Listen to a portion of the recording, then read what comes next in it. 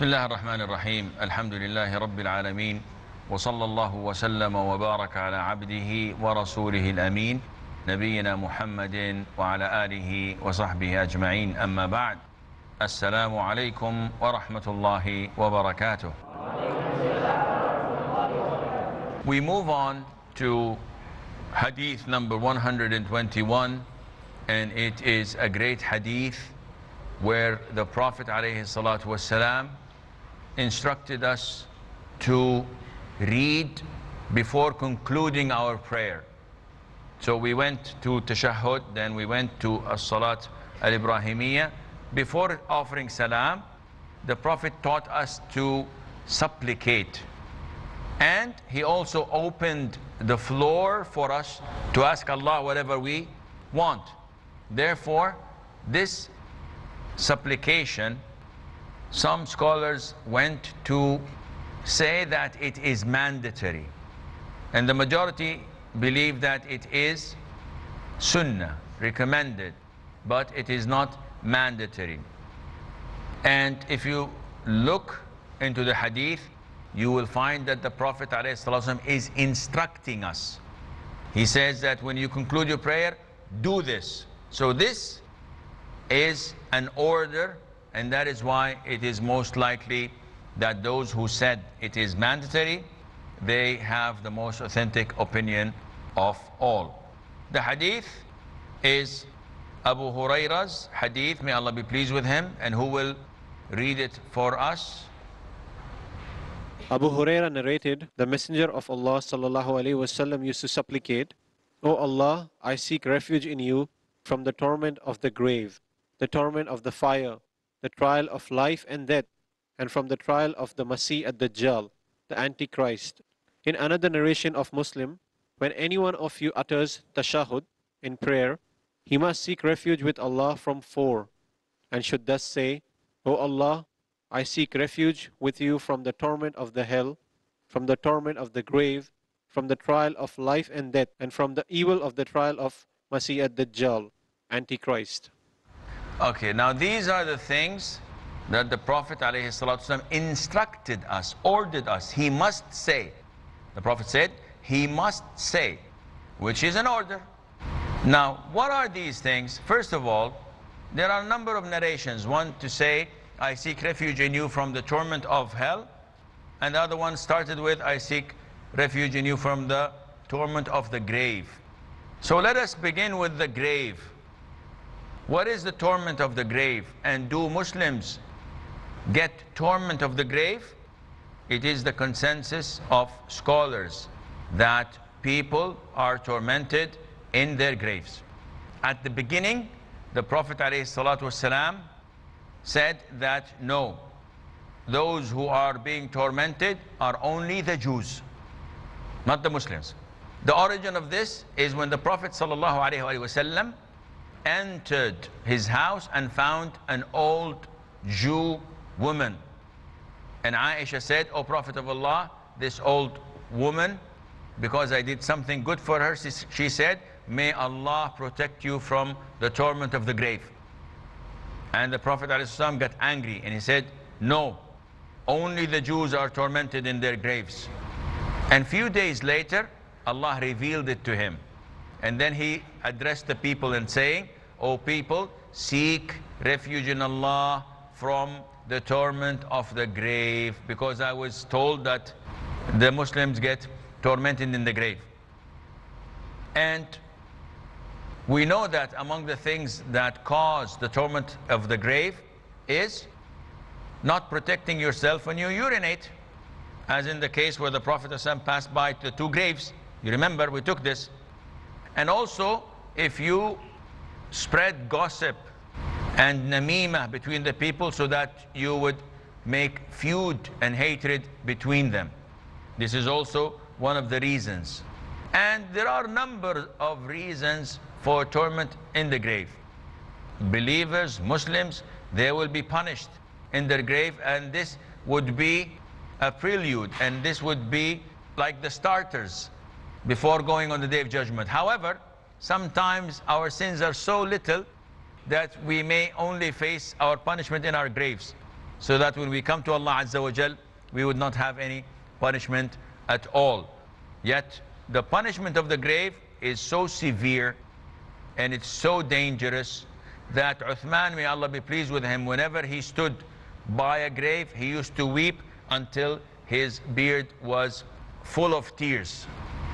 And his companions would say, Uthman, may Allah be pleased with you. We mention hell and we mention fire and you don't cry as much. But when you stand by a grave, this is what happens to you. He says, the grave is the first step to the hereafter. If it's good, then whatever is after it is better. And if it's bad, then whatever is after it is worse. And the Prophet taught us, alayhi salatu wasalam, what to do in order that Allah would protect us from adab al-qabr, from the torment of the grave. And that is to recite and memorize Surat al-Mulk.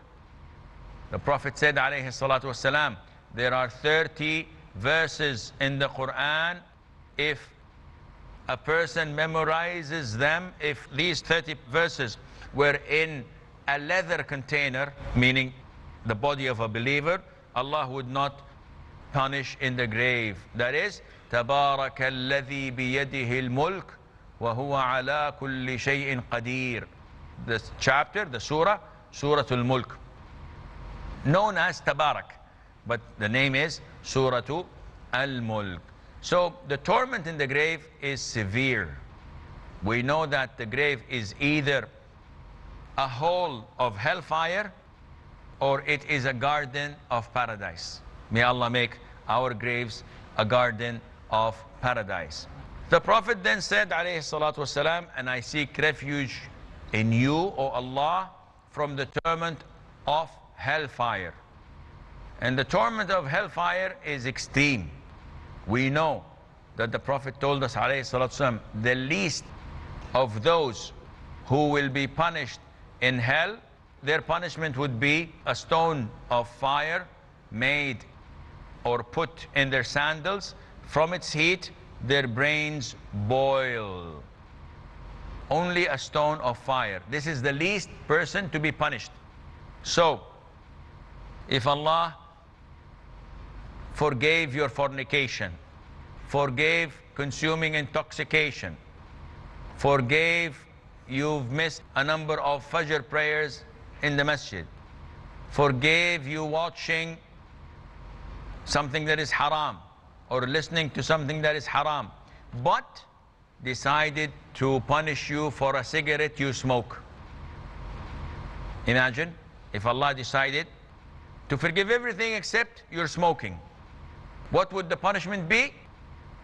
A stone made of fire in hell that is put in your sandals your brain boils from it. And you can imagine what happens to the rest of the body.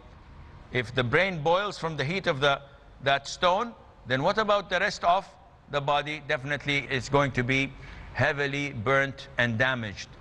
And for what? For smoking? And you can convince yourself, I should not watch haram. I should not listen to haram. I should not say haram. I should not eat haram. Because I know that the hell fire is extremely bad and painful. To the extent that even the skin, once it's burnt, Allah changes it.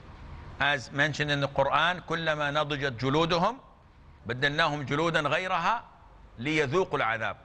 And this is one of the scientific evidences in the Quran that the cells of feeling are in the skin.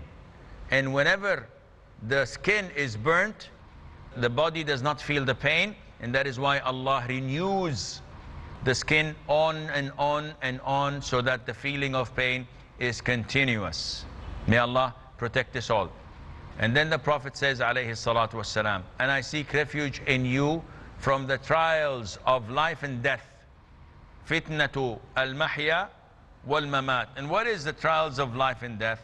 Well, scholars say that the trials of life is what you see in life that tempts you to sin.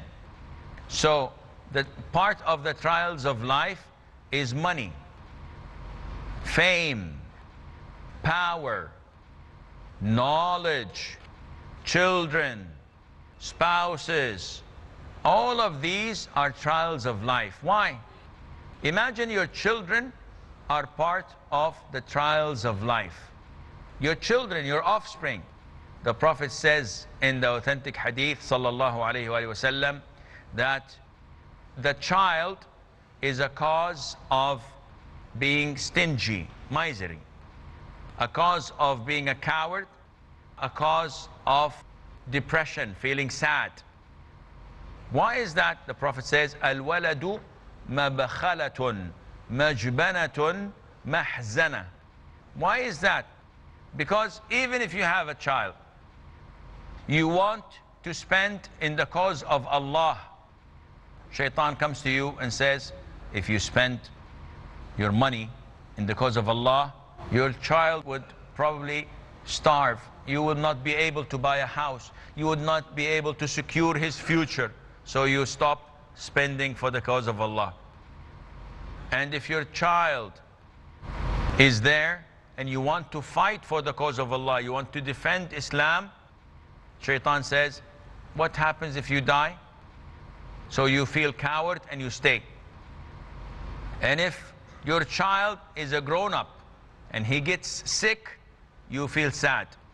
If he comes home late, you're worried and sad because you're afraid maybe he had an accident, maybe the police took him, maybe he got into a fight. So your child is always a mean or a cause of being sad. So this is part of the trials of life. Your wife, if she was a righteous, good woman, then you have the best of this life.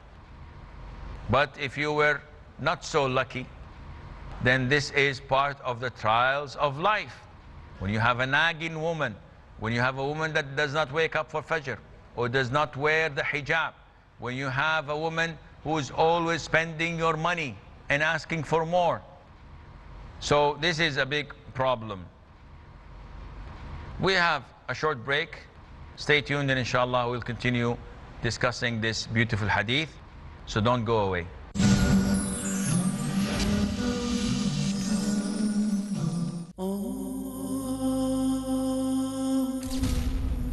We are not addicted to dawah.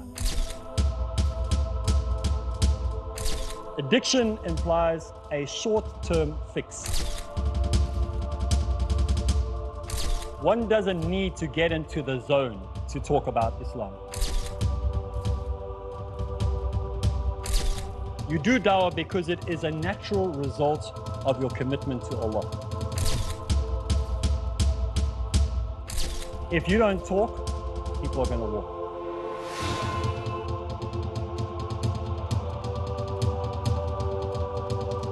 The most effective combination in the propagation of true Islam is found in Dawah ilallah. Join me, Arif Islam, as we go through Dawah ilallah only on Peace TV. Follow the tips to make the task of Dawah result oriented in Dawah ilallah every Sunday, Tuesday, and Thursday at 10:30 p.m. Saudi Arabia and 11:30 p.m. UAE on Peace TV.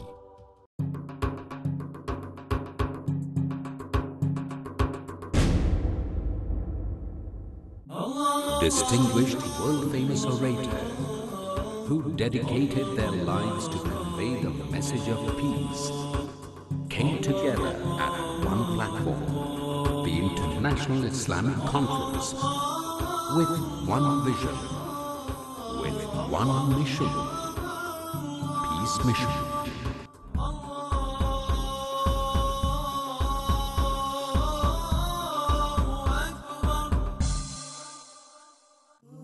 I welcome all of you with Islamic greetings. Assalamu alaikum wa rahmatullahi wa barakatuh. Peace Mission, next on Peace TV.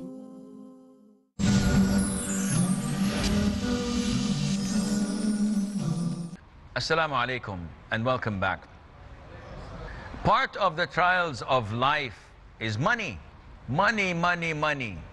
It changes people, usually to the worse.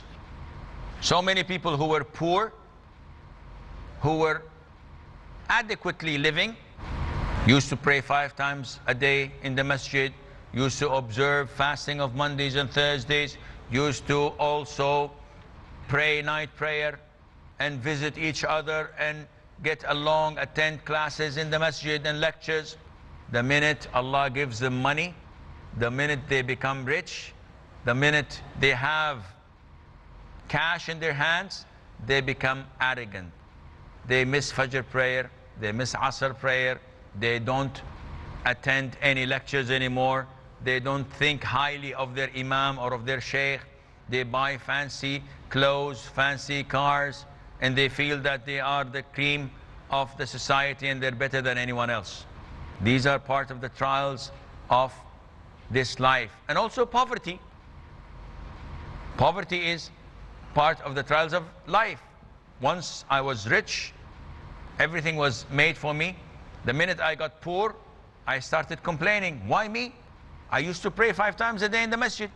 I used to do good things. Why me? Why not him? Why not her? And I started to complain and object to Allah's rulings and decree. This is part of the trials of life. And you can go on and on about this life we're living in. There's so many trials in them. But the Prophet sought Allah's protection from the trials of life and death. So what can be the trials of death? The trials of death are the most frightening. Why? Because the Prophet ﷺ said that deeds are judged by their conclusion. إنما الأعمال بالخواتيم. so if you live for 60 or 70 years praying in the masjid, doing well, staying away from haram, and the last day in your life you did something awful. You said, what about if I give it a try? I'd like to go to a nightclub. I like to drink until I'm wasted. I'd like to smoke pot or, you know, do something that I've never done before. And you do it and you die doing it. This is the last thing that you will be judged upon. And that is why it is very scary, the trials of death. Because you never know when death comes to you and that would be your final verdict. Also among the trials of death, those who are prevented from saying the shahada, those who are prevented from saying the kalima. So when they are on their dying bed, so many reports in the books of scholars, people come and say, say la ilaha illallah. And the man, instead of saying la ilaha illallah, starts to sing. The last song he heard before he got sick, or the song that was dominating his thinking. They went to someone who deals in usury, in riba, and they told him, say la ilaha illallah. While he was on his dying bed, he said, 10, you pay them back 11. 100, you pay them back 110. All what he's thinking of is his riba, his usury, what he was living for and at. So the trials of death are very scary and we need extremely that we rectify our lives so that when our end comes, it comes on something that Allah Azza wa is pleased with. And the Prophet goes on to seek Allah's protection and seek Allah's refuge from the trials of Al-Masih al-Dajjal, the Antichrist. And we know that the Prophet said, والسلام, there is no trial on earth more severe and dangerous than the trial of Al-Masih al-Dajjal. Every single messenger of Allah warned his people from Al-Masih al-Dajjal. And the Prophet gave us a lot of description about him to the extent that we know exactly how it's going to be. Unfortunately, nowadays, we see a lot of people advertising that the Dajjal has been recognized, that the Dajjal has been found, or something like this. And they claim that the Dajjal is the Western media, the Western influence. There are some YouTube um, films like The Arrival, and they're all nonsense. They're all rubbish. Some of the brothers told me about it, and I had to spend like half an hour or an hour watching three or four of them.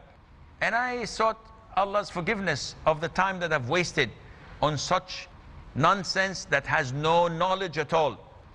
Claiming that the domes of Dubai and Riyadh and so on, that these are signs calling the Dajjal and anticipating of him, and these are the Freemasons and the servants, and all of this rubbish. Someone who had nothing to do just went on with a camera and took few shots here and there and made a script and distributed it among the people. And the ignorant people say, yes, he's been identified. He's here, he's there. We know that the Dajjal exists. As in Sahih al-Imam Muslim. We know that Jarir ibn Abdullah al-Bajali saw him in an island and he reported this to the Prophet ﷺ. We know that he's in chains and we know that he will come. But when will he come?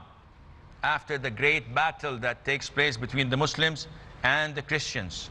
And before that battle, they were joint forces against a joint enemy of theirs. Once they defeat that enemy, then feud and fights happen between them and they are victorious. Once they're resting, then the Dajjal comes out. And the Prophet told us exactly what the Dajjal would be doing. He would be spending 40 days only. A day, which is equivalent to a year, a day equivalent to a month, a day equivalent to a week. So he would be spending one year and one month and one week and 37 days. So you do the math. It would be one year and two months and few days. This is what he will be spending on earth. But why is it so severe? His trial, the Prophet told us, والسلام, people would come to him with full hearts of Iman and they will believe and become kafir. Every believer would see on his forehead, kafir, disbeliever, whether he, they are literate or illiterate. Allah Azza wa would make them see and recognize him. He would first call himself God and then he would go a little bit down. And the Prophet tells us that he is one-eyed. And he described him to us exactly in all the hadiths are in Sahih Imam Muslim. And he told us, when you hear about him, go as far as possible from him. Do not approach him. And he told us that he cannot enter Mecca nor Medina because angels are there waiting for him. And the Prophet told us that he would be so fast, he would cover the whole earth in that period. And he would have control over the rain.